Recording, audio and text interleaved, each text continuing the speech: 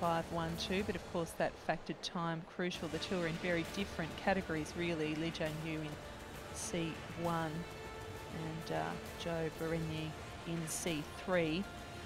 So we move on quickly here at the Velodrome on day three of the Rio 2016 Paralympic Games. We will have the medal ceremony a little later in proceedings, but we're back with the women now. And we're back with another time trial. Yeah, and it gets quicker because it's uh, 500 metres this time. And our first rider out is Jenny Narcisi.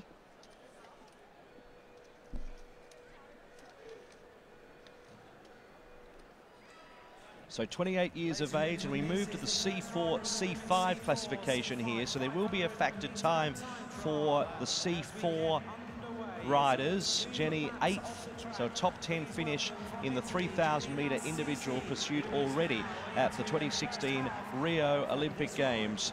Coached by Federico Sinelli at club level and Mario Valentini putting the polish on as national coach. And after the first lap, setting the standard there, Jenny Narcisi heading down the back section, having to keep the power going, but just wobbling down low on the velodrome down the back section.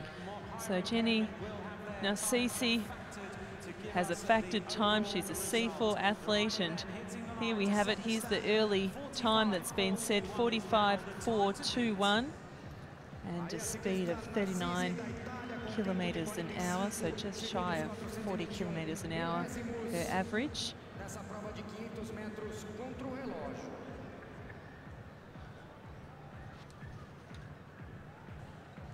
And uh, this is Narcisi's second appearance at these games. She finished eighth in the C4, 3,000 metres